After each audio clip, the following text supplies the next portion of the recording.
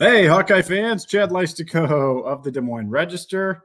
Uh, you know, we would have loved to have done an instant reaction podcast last night, but it was getting pretty late. And uh, we wanted to do a live one this morning for you guys uh, after Iowa's 91 to 89 victory against the Indiana Hoosiers. Uh, a wild, wild one that uh, I was at home for that. Uh, Kennington was in the arena, so I'm going to lean on his expertise on some of the uh, combustible moments of the game and maybe even some of the post game stuff.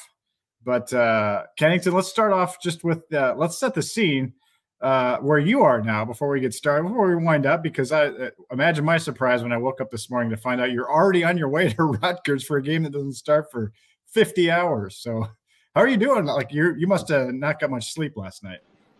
Yeah. Uh, first of all, did not get much sleep at all. but uh, I'm at O'Hare Airport in Chicago, so I don't know. Usually we we fly in a day before. I don't know what I was thinking when I was booking the the travel. I guess I thought the game was on Saturday. I don't know what I was thinking, but uh, I am flying out uh, a little bit early, but I did have enough time during my layover to catch this podcast with you, which I'm thankful for because we set this up um, prior to me knowing when I was flying out. So I'm glad it worked out.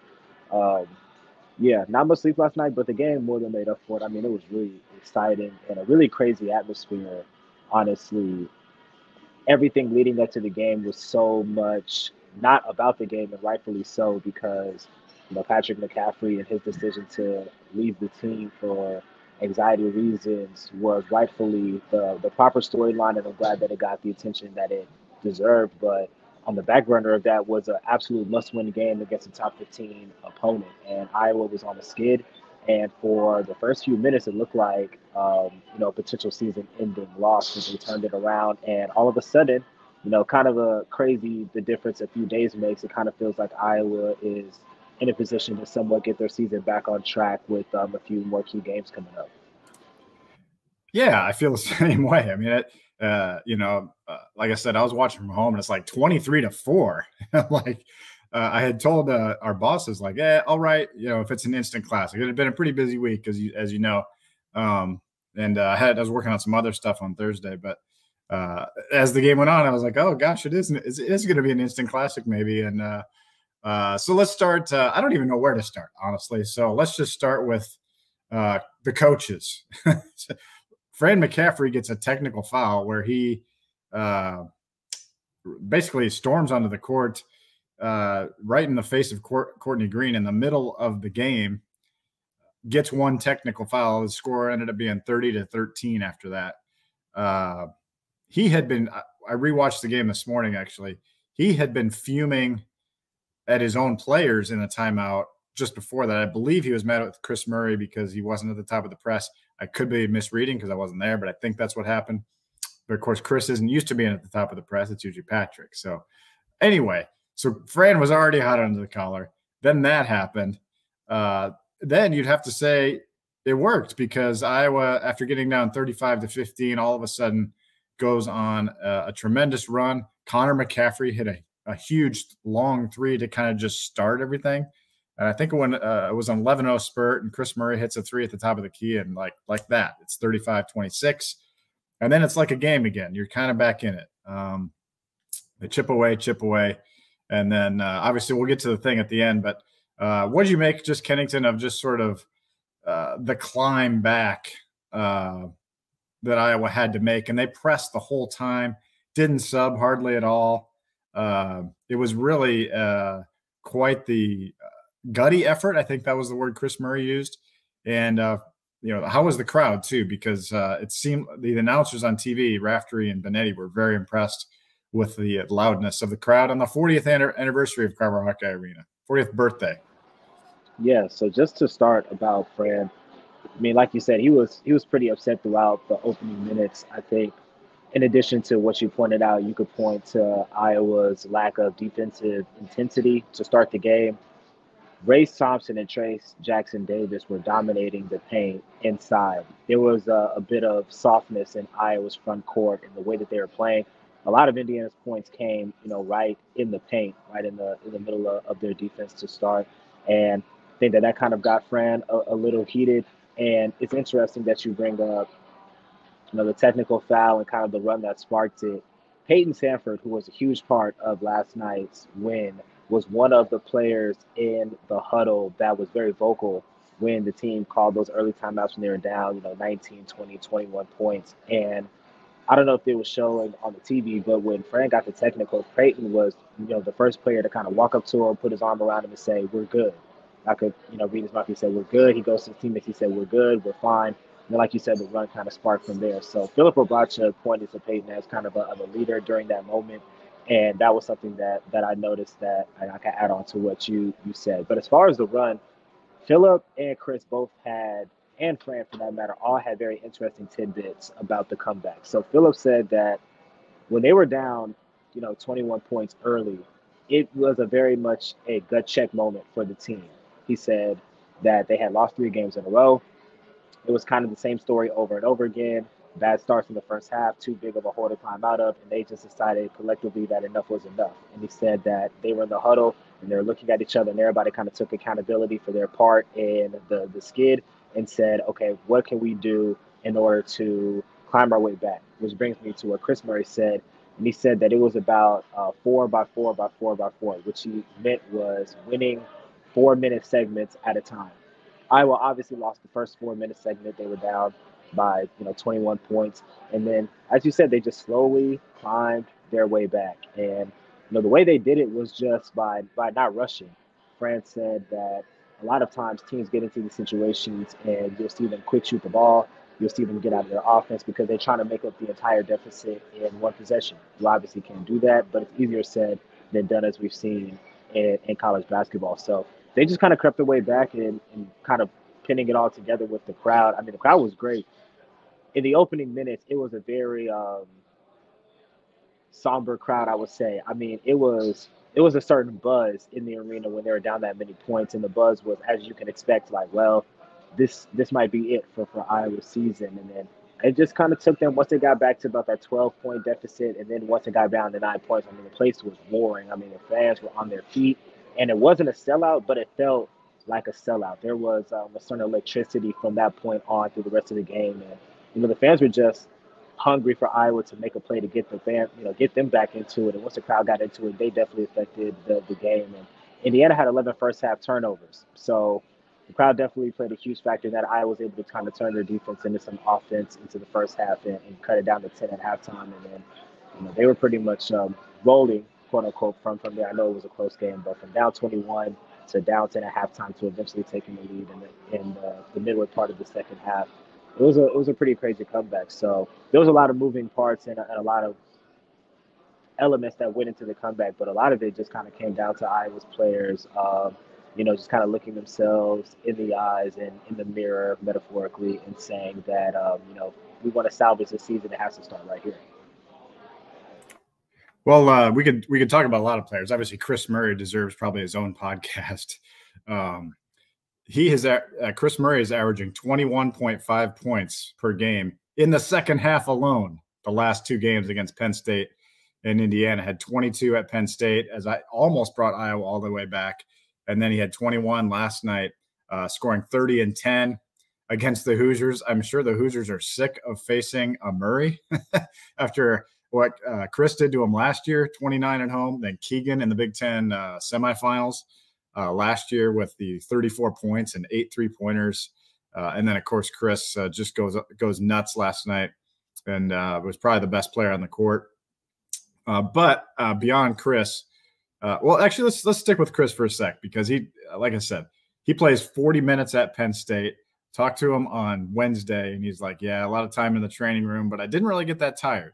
So I think he's going to have a lot more tr- time in the training room between now and their flight to Rutgers. Uh, you know, he was at the top of the press, so he was pressing on defense all night.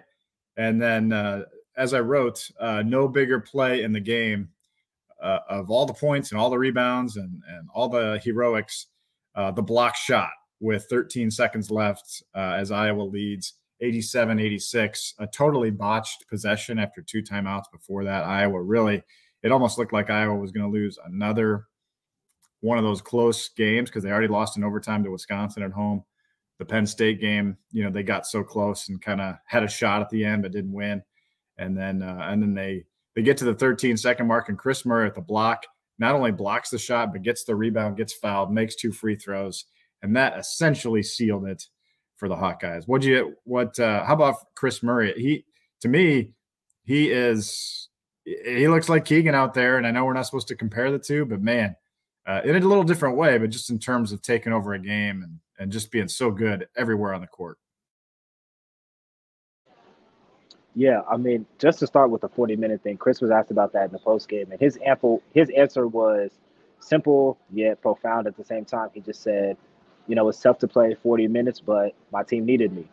And they needed every single second of what Kris put on the court last night to end the, to, to win the game. I think that we didn't talk about this. Um, I know I was off, but I think, you know, speaking for you and myself, I think the feeling was going into this game – that Kris had to play 40 minutes and not only play 40 minutes, had to be spectacular in that 40 minutes to give Iowa a chance. And this was a game worthy of the national spotlight and for him to be named to the Naismith Player of the Year midseason list earlier this week and then put out, you know, these, these performances like this and what this game meant for Iowa's season, for him to have the performance that he did you know, solidifies who he is nationally as a player. That's kind of what what I look at this game as is just you know continued validation that Kris is uh, a number one player and how much trust Iowa has in him. I think that if you're looking at it from uh, a holistic standpoint, and I think Keegan kind of got somewhat of this criticism last year, is that you would just like to see that aggression just right out of the gate. You know, you just like to see Kris come out, dominate, get into the flow of the game early, um, and kind of establish himself. It hasn't quite been like that, but once he gets into a rhythm and once he, you know, finds his comfort zone, I mean, he's almost unstoppable out there. So nine points in the first half. He was active in the first half. He had nine shots in the first half. It wasn't like he was, um, you know, completely invisible, but he came out in the second half very comfortable and, um, you know, really led, led Iowa. And it, it doesn't help. I mean, it doesn't hurt, excuse me, that you know other players in the front court really um, helps him out as well. So they're getting it off into him. They know he's a focal point of the offense, and um, it was a, it was a two way effort for Kris. And um, again, he's like you know the Indiana killer, almost a year to the day. I think it was January 13th last year, 29 and 11, and then checks the day January 5th,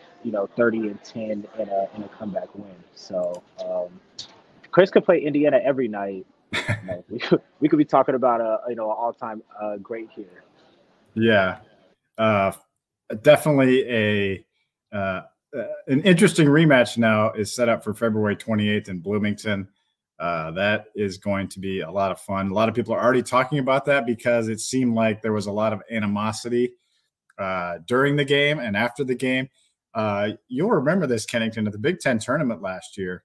It was late in the game. I remember the where Fran walked over to the middle of the Indiana huddle in the Big Ten tournament semifinals because uh, I, I don't even now I'm just blanking why, but it was late in the game, and he was like just he was like in their huddle in their face, did not get a T for it. It was late in the game. They and then he did the same thing last night, late in the game. Uh, and uh, Mike Woodson had had some choice words about that. I've got it called up. We'll see if it can uh, can uh, come through the YouTube pod. Give me a nod if it does. Uh, I'm gonna try. Uh, here we go. I'm not comment on that because that's that's bullshit. That's what it is. You know, you can you can print that because.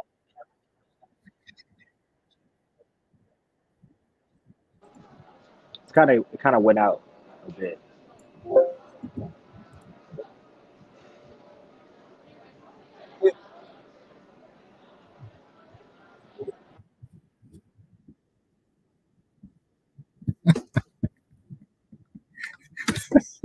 and he's a, he's like uh, no com- no comment, and you can print that. Uh, he was all over the place, uh, Mike Woodson. But anyway, so on TV, a lot of us, I, me included, I thought he was giving a technical to the Indiana's assistant coach Paul Zelk. Did signal T, and then he was like, all of a sudden, huddle up, huddle up, huddle up. So uh, I don't. Did you have a sense for who uh, they were initially calling the technical on Kennington? Uh, any any word on that after the game? it felt like it was on Fran from where I was sitting at least, just because, you know, I know that you know, Iowa fans are getting on Mike Woodson and being like, oh, well, don't blow a 21 point lead. But I'm to be honest, Mike Woodson does have a point. Like, if if a coach does cross over, you know, half court, especially getting as close as as Fran was, you would expect nine times out of 10 for that to be a technical. I thought it was a tech on Fran just because the when the referee called the tech from my vantage point, it wasn't he didn't like point specifically to say who it was on. When I saw the replay, the ref calls the technical and doesn't even look in Iowa's direction after he calls it. So if you look at it from the back view, he calls the tech and immediately turns to Indiana. So if you look at it from that angle, it's obviously on Indiana's side. Um, but it's like you don't get that in a real time view from where we sit in press row. So um, you know, it wasn't on Fran, so that was inaccurate by Mike Woodson. But uh, I do kind of feel him though. Like if uh, you know you see a team, a coach charging over, and then Connor got even further along than than than Fran did. He was fired up as well. And it took a collective effort to kind of reel him back in. But like you said, it was a it was a chippy game, and I understand. You know, first why the ref called the technical, and then you know he kind of pulled it back and it was kind of like a, a, play on. I mean it was a it was an emotional it was a chippy game. I mean there could have been many technicals or, or all that throughout the the course of the game. So it was just highly competitive. Um, you know the refs there were some questionable calls throughout throughout the game on both sides but you know they were doing the best that they could i guess to um, keep everything um, kosher i guess i should say. But definitely circle February, uh, I believe it's February 28th um, in Bloomington because that's going to be um,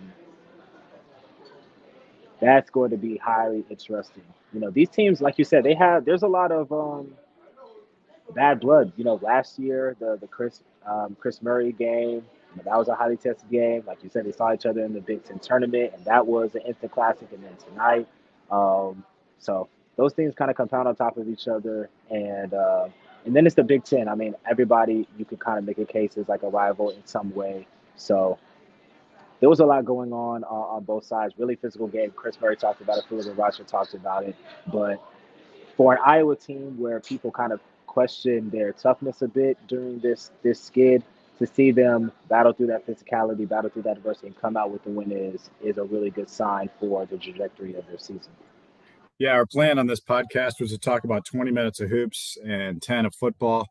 Uh, we will uh, we might spill over a little bit with hoops, but uh, let's just touch on a few more things off Iowa Indiana because there's just so much to unpack with this game. And uh, let's talk about Payton Sandfort and Josh Dix. Even uh, I think two good stories that emerged from this game.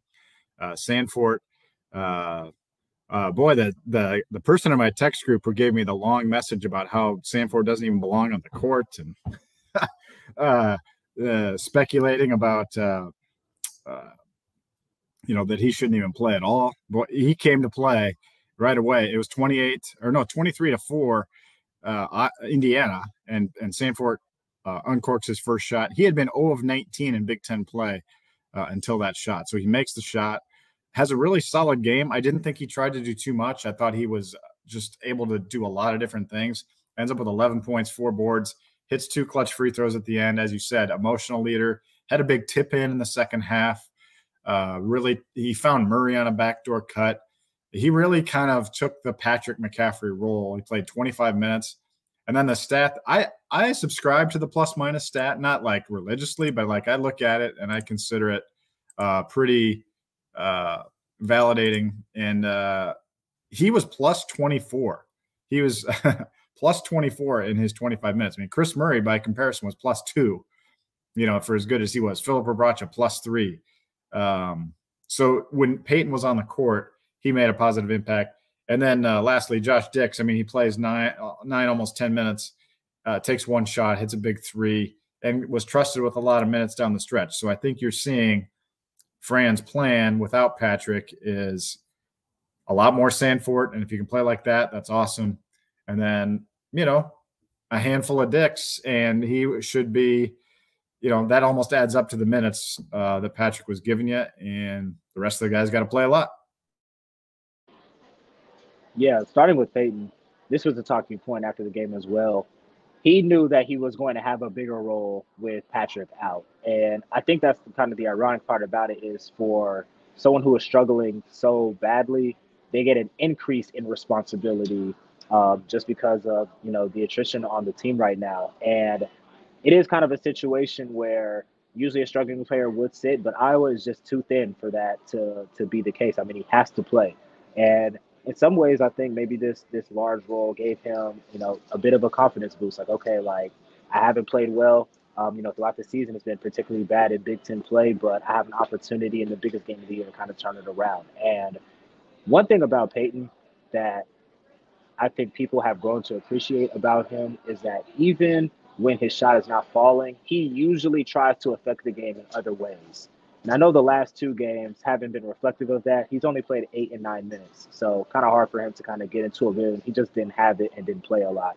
But to last night was a, a great example of him uh, just affecting the game in all types of ways, like you said. He did get off to a three for three start. The rest of the way, he was only one for six. But like you said, he was rebounding, he was finding uh, players in, in, the passing lane. He was doing what he could on the defensive end. So you just kind of saw him do a little bit of everything for, for Iowa. And Josh Dix, the sequence that you're referencing where he hits the three pointer where they were they were down at that point. It was 72 to 70, they were down. He hits the three pointer. Next possession down on defense. He gets the defensive rebound. Um, finds Dasonte Bowen, who then finds Kris Murray, who gets the and one. They go up by four. That was one of the critical stretches in the game. So he didn't play a lot of he didn't play a whole lot of minutes, and stats won't blow you away. But you actually had to like watch him just kind of see the impact that he had.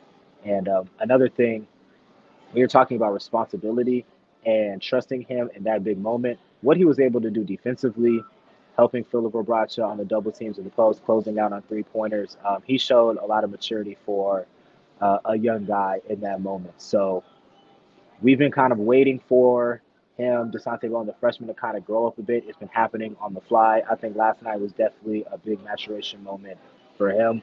And you know, Fran, he's he's one of those coaches that will say openly if he feels like you deserve more minutes. He, you know, he said he's going to try to do that. He said he feels like Josh has played well enough recently to earn more minutes. So, you know, would expect his role to, you know, steadily increase as as time goes on. Uh, and now the next test uh, at Rutgers, uh, 11 a.m. on Sunday. That's going to be insanely tough, uh, especially on the short turnaround after this emotional win. Rutgers is playing really well. Uh, as you remember, Kennington, they held Iowa to 46 points a year ago, just held Maryland to 50 last night. Also, just beat number one Purdue the other night. So they're number 14 in the net. Really good team. Iowa does move up to 60 in the net. So after the Eastern Illinois uh, collapse, and now when you look back on that, Kennington, we haven't had a chance to talk about this. Uh, you know, the Patrick McCaffery impact. Um, you know, check out my coverage at Hawk Central on that. But uh, you just look back now at those three games Eastern Illinois, Nebraska, Penn State, knowing what Patrick was going through. Uh, obviously, you know, Kris Murray and Connor McCaffery did not play in that Eastern Illinois game either. So there really was nowhere to turn with him kind of running out of steam, dealing with what he was dealing with, peaking with anxiety, and it obviously affected the rest of the team. So uh, you kind of understand where they're coming from, and maybe if he does come back, this team can really be a lot stronger for it. Maybe it'll be too late. Uh, maybe he won't come back. We will see. We got to give Patrick his own timetable, obviously, but um, you know it was kind of cool on the broadcast. Bill Raftery and, and Jason Benetti talked about it a lot, and uh, uh, Raftery was was really confident that Patrick would be fine, and that knowing that he probably talked to Fran a lot before the game, I think I think there's a lot of confidence that uh, from Margaret and also from Fran that the positive outpouring of support that Patrick is receiving uh, is really going to help him uh, on his way back. And then when he comes back, I feel like he maybe he will feel more support. I'm guessing um, from the crowd, from the fans, from every from people you know, instead of looking at him as the coach's son, they're going to look at him as a person. And I feel like that's a really emotional transition, Kennington, that needed to happen almost for uh, a lot of people. Uh, not pointing fingers at you know anybody in particular or anything, but I'm just saying like this is a this is a young man with feelings, a young man that wants to give everything he can to the program for his family. Uh, he's a great guy, and uh, I think he, and he's got a great game. He, he's a great player and I think he doesn't get enough respect for the player that he is. So uh, when he does come back, I, I think he's going to come back. I think this is going to be a good thing, and kudos again to Patrick for for doing what he's doing, uh, sitting out. Yeah, one hundred percent. I mean, him finding you know peace where he's at is obviously the number one priority, and he's talked a lot, like you said. There were there's inherent there's pressure on him, even if you take away the fact that he is you know Fred McCaffery's son. He was a top 100 player. He is a starter on a Power Five team playing in arguably the best conference in America. And then you add on the pressures of being the son of the head coach. And he's talked about it before, and he understands that that is what comes with it, but that doesn't make it easy to deal with. So he has a lot going on in his personal life outside of basketball that we don't know about. Obviously, there's a lot going on basketball wise, and all of that stuff just kind of weighs on him. And I think at the also let's note that he is um, you know, still a young man at the end of the day, you know, in his early 20s dealing with, with a lot. So, you know, we're going to continue to, to pray for him and, and, hope that he's progressing daily. I think it is a good thing that he is still with the team and is going to be, you know, around for the daily activities just so, you know, so he can still feel engaged. And I think that everybody, um, you know, treating him normally is, is also going to be a good thing just to provide a sense of normalcy for him. So when he steps back in, whenever that time, you know, is, like you said, I expect for it to, to be pretty seamless. And um, you know, we're all looking forward to Patrick kind of getting back to that joyful person that that he is, because like you said, he truly is um, a pleasure to be around. And prior to this recent skid, I mean, he was playing really well. Go back and look at his offensive numbers and the points that he was putting up. I mean, he was you know really emerging as a as a really good secondary scorer to, to Kris Murray. So you know, hoping that that he gets back on the court, you know, whenever he's ready, and when he does that, you know, he'll continue to the progress that he had early in the season. Yeah, absolutely. Uh, are you good uh, to talk a little football? I don't know what your time frame is for your next flight. Yeah, I'm good. You okay, can, you can go. Yeah, hopefully, your Chili's order is in, and um, we uh, let's talk. I don't know where to begin. I guess on the radio show this week with Andrew Downs, we talked a lot about, or at least enough about the Tory Taylor coming back, Lukas Van Ness leaving. So we don't have to get into that. Joe Evans comes back. So there's some other news kind of late in the week we haven't talked about in the podcasts. Uh, Joe Evans coming back. Uh, that was expected. That was in my roster projection, but it's a big deal. Uh, it kind of replaces Lukas Van Ness, so that's big.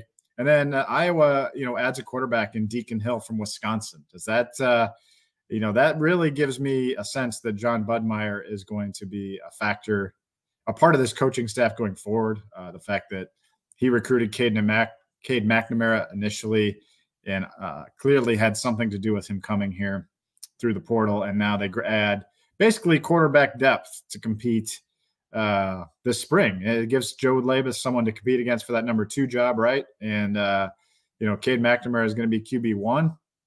Uh, I think he's probably going to be okay for spring to, to participate. Uh, maybe not right away, but at least at some point so uh, at least it gives you more arms too, uh, so you can run practice, all that stuff. But uh, you know, he came. He was a four-star prospect by rivals, and uh, you know, he's a young guy. He's got a lot of eligibility left. I believe you uh, uh, three years left of eligibility, or four years, three years, three years.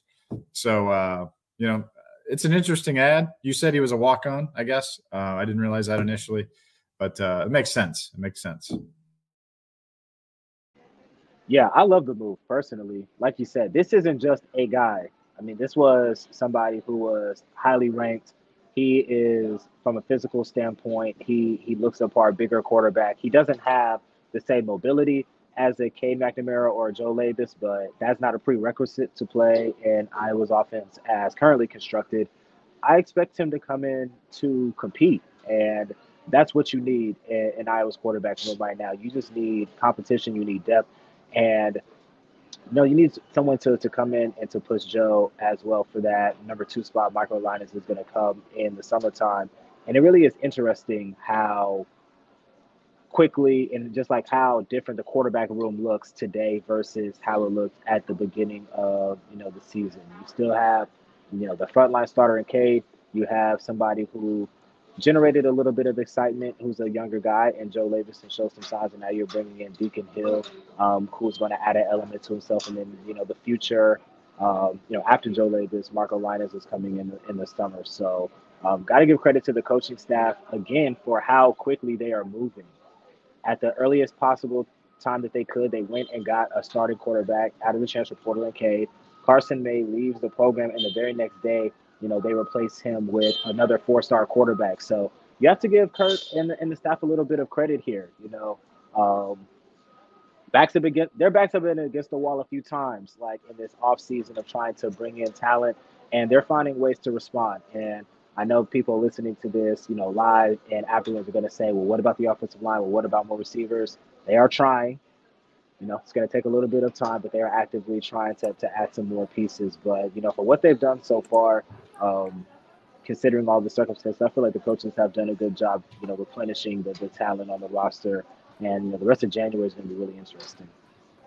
Yeah, Iowa, uh, according to Blair Sanderson at Hawkeye Report, um, had a couple uh, or had a big visitor in town last night for the game. Um, Dajon Parker, who is committed to Virginia, uh, grad transfer from Saginaw Valley State. Uh, played, he's a left tackle, right tackle. Uh, you know, has some kind of medium-sized offers uh, in addition to Virginia and you know, it's like Washington State, Tulane. Um, but he's 6'5", 300. So he's an, he's a guy that's uh, obviously still poking around, even though he's committed to Virginia. And then uh, the big one uh, that I was, you know, and a lot of teams are trying to get is Walter Rouse, the uh, 6'6", 318 uh, Stanford grad grad uh, transfer. He is a tackle, um, All American academically, and uh, you know, 39 game starter for Stan- Stanford at left tackle over four years. He's down to Iowa, Nebraska, Oklahoma. It sounds like maybe Auburn. Um, so you can see Iowa is making a push to replace Kadyn Proctor. um, if it, I think, I mean, obviously Rouse would be the big, the big fish there. If they could get somebody like that, that would, I mean, help just so immensely uh, to have somebody like that. I mean, he has to see the need for, you know, what's going on at Iowa City and the need for playing time. I'm not saying he, you know, should come here, but uh, man, a huge opportunity. I mean, uh, to step in and be a tackle for the Hawks.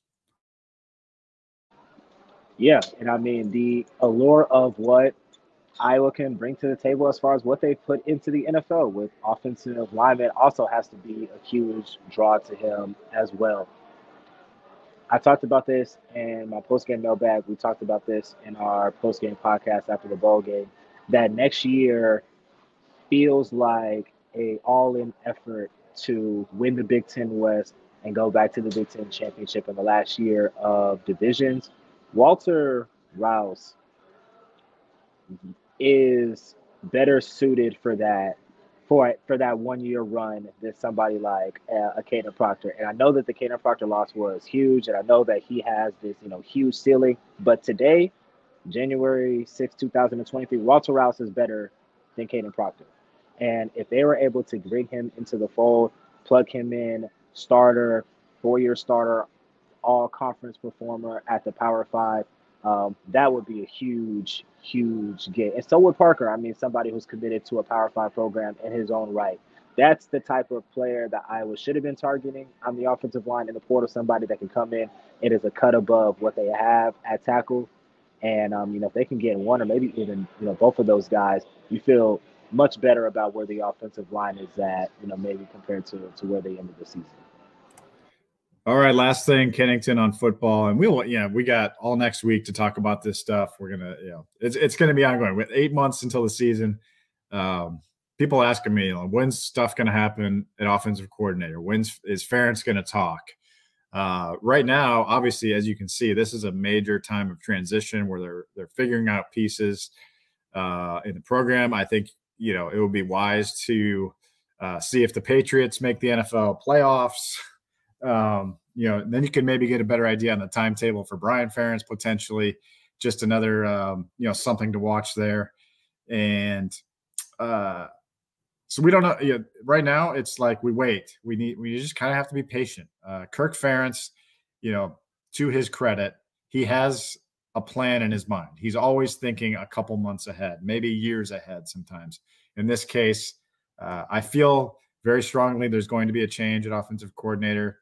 We will see when that comes, if for sure that it comes, how it comes. We don't know those details just yet. You're just going to have to be patient with the rest, like the rest of us. Obviously, Iowa is in recruiting mode right now, which is the most important thing. than figuring out every single coaching staff point.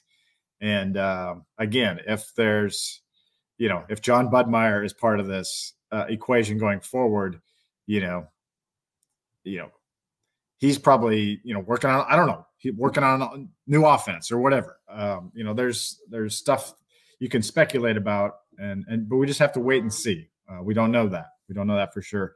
But Kennington, just kind of what do you make of? Uh, I, I feel like it's an exciting vibe, to, honestly, right now. Right now, I I think the win in the bowl game, we talked about, you know, meaningless bowl game, whatever. I, I feel like there's been a real roll of momentum here with that bowl game win. Um, you know, it, it may not be seen on the outs like outside the nation like that, but I feel like there's a little bit of positivity surrounding this Hawkeye team. Oh my gosh, that defense is so good. Let's just see. You know, we've been saying this for two years now, but let's just see if they can get an average to, to above average offense. Um, I think you've seen positivity here. I'll give you the final word on football. Yeah, I mean, I think that the the move uh, on offensive coordinator is like the last um, stone and like you know the Infinity Gauntlet or or whatever. I'm making a Marvel reference here. Look at what Iowa has been doing this offseason that falls in line with what Kirk said a year ago. A year ago, he said that you know we're betting on us in terms of quarterback, coaching staff, you know, as a system. At this time last year, NIL was not on the forefront of his mind. And here we sit one year later, and Iowa went out and got a new quarterback in the transfer portal the first chance that they got. They've been extremely active in the transfer portal recruiting. They seem very willing to play ball with NIL, and they seem very committed on that front. Now the last thing is changes on the coaching staff. So you know, for the people that said that, you know, Ferentz was so change adverse and these changes would never come and he would never do this and never do that, the circumstances around the program have lended itself to where he's had to make these moves. He's been very uh, aggressive with that. Will a change come? I believe that it will. Like you said, who exactly is going to be the new offensive coordinator? I think, you know, you could go in a lot of different directions.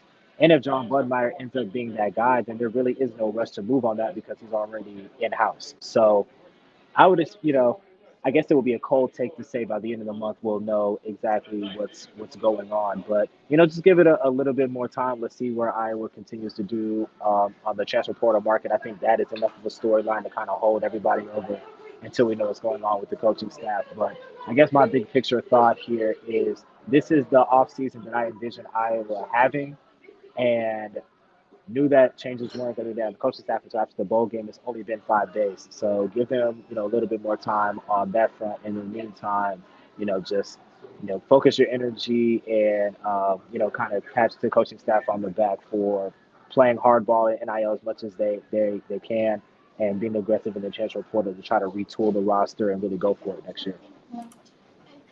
Yeah, man. Uh, good stuff today. Thanks for hopping on and doing this on no sleep. This job sometimes can be thankless.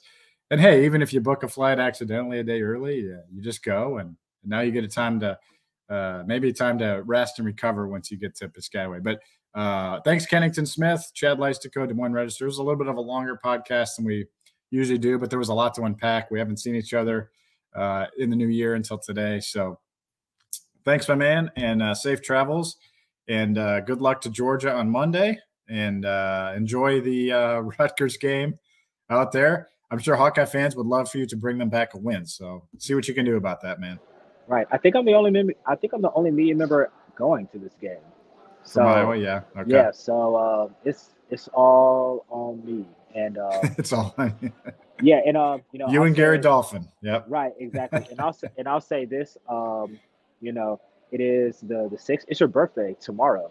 Yeah. Uh, so happy early birthday to you. You are uh, Thanks, an amazing buddy. part. You're an, you're an amazing partner. I say this all the time. I don't know if I would be out here still, or if I would have my sanity if you were not my partner. so um, many thanks to you on that. My birthday is on the 10th. Georgia plays on the 9th, so hopefully I can get a a, a nice birthday present going into to that day. But um, you know, if I don't talk to you before uh, tomorrow, happy birthday to you. And um, everybody listening to this, go wish Chad uh, a happy birthday. He deserves to have some fun this weekend. All right. Thanks, Kennington. We will sign off with that. Appreciate you. Safe travels. And Hawk fans, we will talk to you soon. Take care.